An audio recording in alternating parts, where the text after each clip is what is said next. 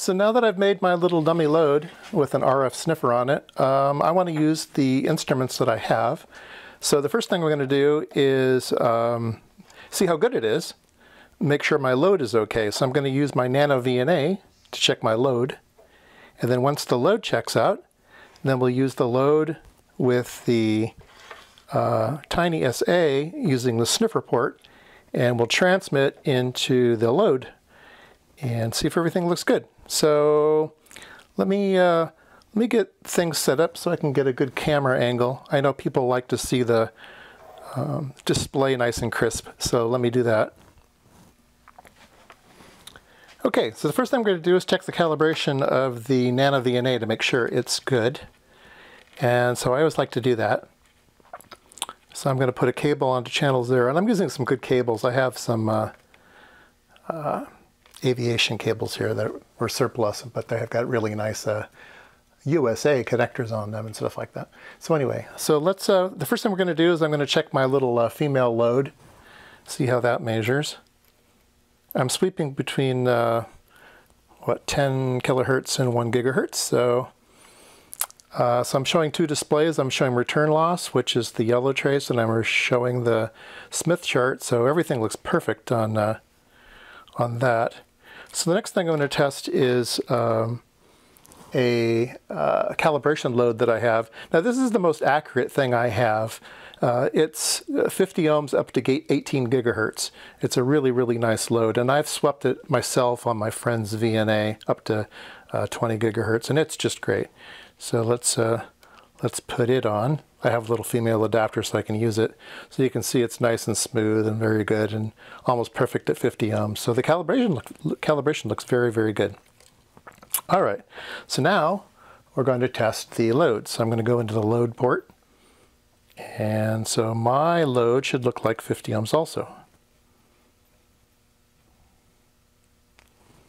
And so we see that we might have a little bit of problem um, it looks great here at a gigahertz and it continues to be really, really good out to here. It does seem to have some resonance or something right around here, then it gets great again.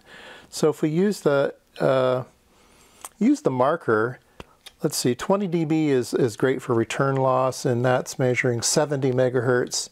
And then it kind of peaks, uh, peaks at minus 13 and then it goes back down at 100 megahertz. So I'm never going to use any of those frequencies um, in, for transmitting. So for a dummy load, I think it's it's really good, and the Smith chart looks fine. So we can go ahead and use it. So now that we've tested it, uh, let's go ahead and disconnect it from the from the Nano. Okay. So the first thing we're going to do is put a connector on the low input. And that connector we will hook up, we will hook this up to the RF sniffer. Okay, so that's going to go into the RF sniffer. Or tap, or whatever you want to call it. It's that little tiny little piece of wire that's not connected to anything. It just picks up stray RF. Okay? And the next thing we're going to do is we're going to take our radio and remove the antenna. And uh, the Baofeng uses the inverse. It uses a, uh, a male connector on the radio, so we're going to put a female-to-female -female adapter on it. So now we have a, uh, a female here, and we can connect uh, the dummy load uh, to the radio. So I'm doing that now. So I'll show this uh, in a different camera angle, but I have the radio going into the dummy load and then the uh, tap or RF sniffer port going into the uh, Tiny SA. So I'm going to turn the radio on. I'm going to transmit on a simplex frequency and let's see if we get a carrier. Oh, well, there we go. We get a carrier minus 12 dBm. Okay, sounds great. Uh, so let's go to the 2 meter ham band so we'll go frequency start 144 megahertz. Do stop 148 megahertz. That's, that is the 2 meter band. And then we will transmit there and boom. Now there's a whole bunch of uh, what I call phase noise And that's probably due to this auto attenuator, which I don't like. Um, so I'm going to set the attenuator, internal attenuator, level, attenuate, manual, 30. I'm going to set it to 30, which is minus 30. Um, and there we go. So we'll get a clean looking, clean looking signal.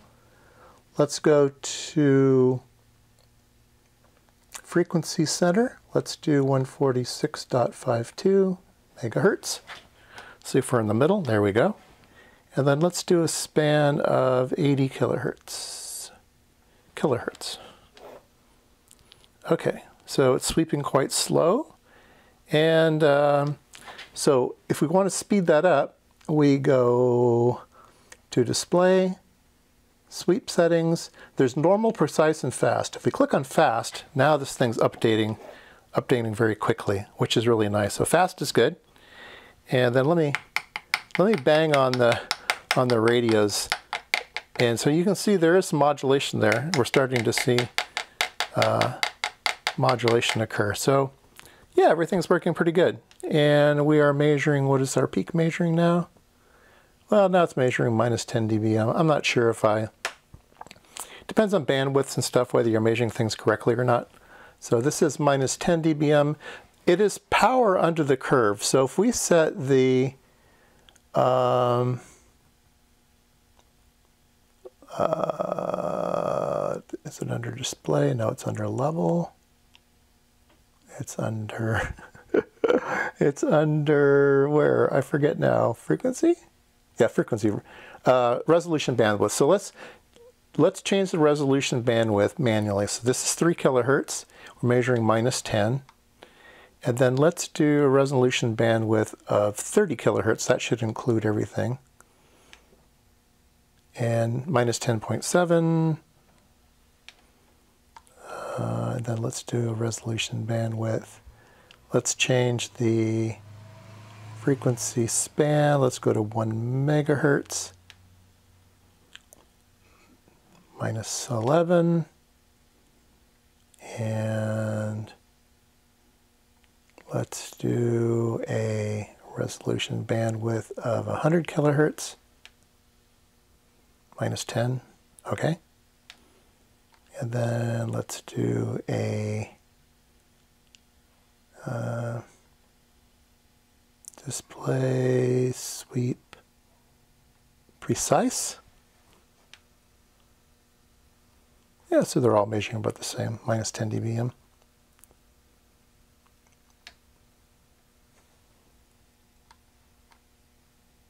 like I say, that particular um, tap port is not very important in um, measuring absolute power because it's not calibrated any frequency and stuff. I suppose you could sweep it. I don't think I trust it. I think it's mostly to make sure that your modulation is okay, okay, make sure your carrier is okay, make sure you don't have any spurious emissions. Let's check for spurious emissions. Let's do a um, Okay, we're going to do a, uh, let's see, here's play, sweep. We're going to do a normal sweep. And we're going to go back to do a um, level attenuator auto. Okay. And then let's do the level, oops, level, oops, no, it's a frequency resolution bandwidth auto. Okay, so that's, that's kind of what it likes to do. We'll let it do what it thinks it wants to do. Now we're going to do a start frequency. Of, we're at 150, 146, so let's do 145 megahertz. Um, did I do? Yeah, 145 megahertz. Let's do a stop of 500 megahertz. Let's see if there's any. Seems like there's a little. Uh, yeah, it looks like it's real. Let's go ahead and measure that. Let's go to uh, markers, search, uh, uh, for max right. And there it is at 293 at minus 55. So about 45 dB lower than the center carrier. So I'd say it's probably within spec. Probably minus 40 is the spec. Yeah, looks good. Anyway, um, let me pan out a bit. All right, uh, so that's going and taking the uh, tap off of that, and then it's going into the radio. So again, the radio goes into the dummy load, and the dummy load has a tap in it that goes to the spectrum analyzer. So um, there you go.